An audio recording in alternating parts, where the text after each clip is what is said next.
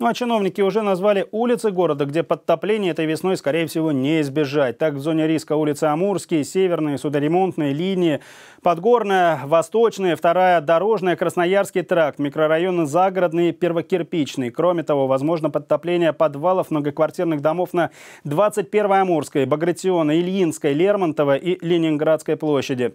Сюда спецтехника будет направляться в первую очередь. Завершить все подготовительные работы коммунальные службы планируют до 15 марта. Все это время будут очищать крыши домов от наледи и вывозить снег из города.